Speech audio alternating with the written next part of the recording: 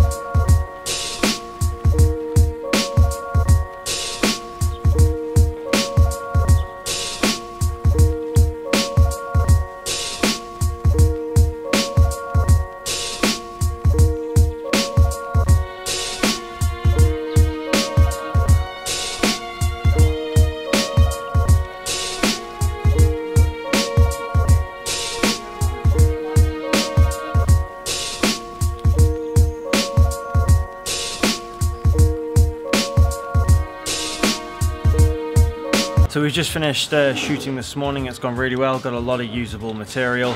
Quite happy with how the uh, footage has come out. Um, really looking forward to getting uh, more shooting done as the day goes on. Now having breakfast and trying out some of the local food and uh, yeah, hopefully it's going to go well this, this afternoon.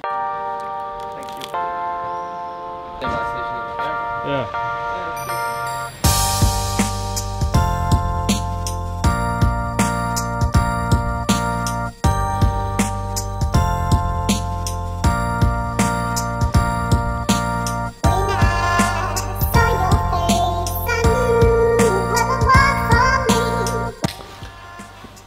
Okay, so I'm back at the hotel now. Uh, Marcus is taking a quick break, so uh, we're just uh, sorting out the footage and stuff like that. Uh, I think I'm going to go out with the Osmo shortly, get a bit of uh, get a bit of Osmo stuff in the streets. It's been it's been a hell of an adventure, and I'm kind of glad as well that I've been making these vlogs. Um, I know that I've been saying that it's going to be quite interesting to see how they come out when they're edited, uh, but I think one of the really cool things about doing these vlogs as well is that um, while I only have a very small audience, uh, the fact is I can use these, like I can watch these back when I'm older and uh, I will be able to recount my own adventures from these videos. Time to get on with more shooting.